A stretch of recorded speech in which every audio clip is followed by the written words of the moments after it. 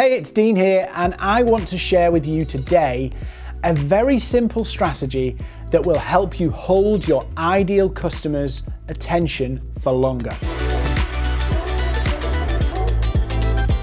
So before we get into the video, please like and subscribe this video. It helps us get seen and get noticed by other people. So uh, let's get into what is the GAP strategy. You may have heard of this thing of the GAP and talking about the GAP. Uh, but never really figured out how to implement this and how this works in your scenario, in your business, and the way you want to use it. Now, the GAP strategy will work in any scenario where you want to hold the reader, the watcher, the customer's attention in person, on the phone, on email, it works.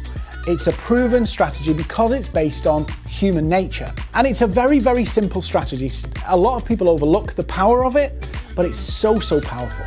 In anything that you're doing, anything that you're doing to communicate and engage with a target audience, you have to remind them of where they are and where you or your product or your service can take them. And you have to keep reminding them of that gap. Let me give you a scenario. If you're running webinars, perhaps you're running online training or online webinar or something like that, and you want more of your webinar audience to stay to the end, because we all know that people drop off quite quickly and people don't show up for webinars. So if I was hosting a webinar and I wanted more people to show up, guess what I'd be doing? In my email communications, I would be reminding the attendees that have registered why they should attend and reminding them of what they're going to get from the webinar and the frustration or problem they might have right now. Perhaps you're watching this and going, how do I get uh, my customers' attention for longer? Perhaps you've been ghosted. Perhaps you've received objections to your product or service and you don't know how to counter them. What the gap will allow you to do is to remind people of the outcomes that you can get them.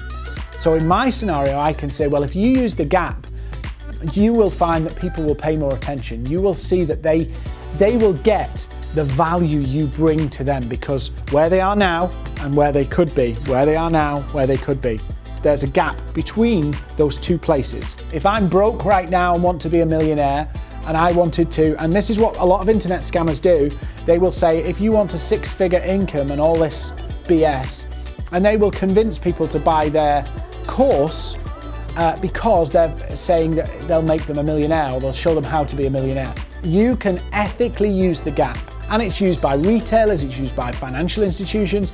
It's a common marketing principle and copywriting principle to remind people of the gap. So you need to learn and adopt the gap if you want to hold people's attention for longer. So what is the gap? It's a simple strategy you can use to remind people of where they are now and where they can be with your product, service, or solution.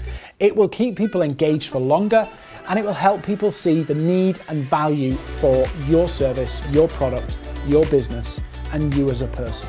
So use it in conversation, use it in videos, use it in podcasts, use it on emails, use it on social posts. It works in every arena. But when you use the gap, you will hold your prospects' attention for longer. Thank you for watching this video.